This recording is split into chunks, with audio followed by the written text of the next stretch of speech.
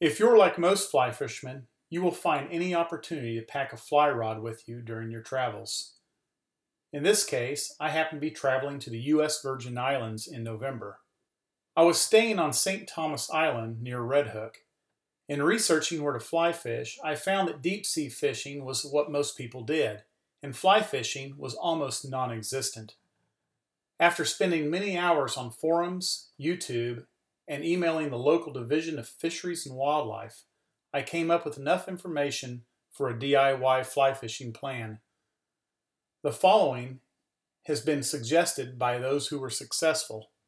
The top recommendation was on St. John Island in a bay called Mary Creek. This was the only location that had saltwater flats. According to a local fisheries biologist, I could find many species, including bonefish and tarpon. All fish would be catch and release only. When planning your trip, you will need the following gear and equipment. I'm using a St. Croix 9 weight 4 piece travel rod with a big game Ross reel. The line is a weight forward floating line, and the leader can be 10 to 15 pounds. I'm using a 15 pound fluorocarbon monofilament that is about 10 feet in length. It has been suggested that a tapered leader is not necessary. The number one suggested fly is the chartreuse and white clouser, tied on a saltwater hook sizes 2 to 8. The other top suggested flies were small deceivers, crazy charlies, gotchas, and the bonefish special. What you choose to wear will be important. Flats wading boots are a must. The sediment is a mix of rocks, sand, and grass. Swim trunks are fine, and a long-sleeved, quick-dry fishing shirt is recommended. The fishing shirt really served me well in protecting me from the intense sun. Also, make sure the shirt has a lot of pockets. The pockets were extremely useful in holding my gear. You will also need polarized sunglasses and a good hat. I particularly like a hat with a chin strap. The wind on the island is always blowing. And finally, a small chest pack to hold the flies and the tools. The roads on St. John are made up of extremely steep hills and switchbacks. You must rent a four wheel drive Jeep if you're going to do this right.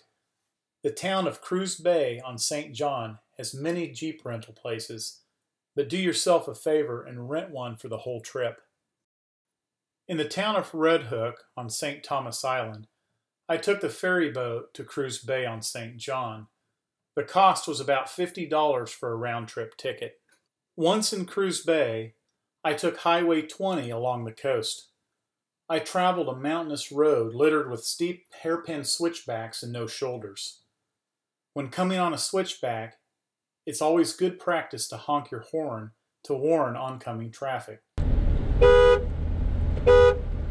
The switchbacks are brutal. The road will eventually take you to a parking lot at Annaberg Sugar Mill Ruins. Park in this lot and walk across the road to the water's edge.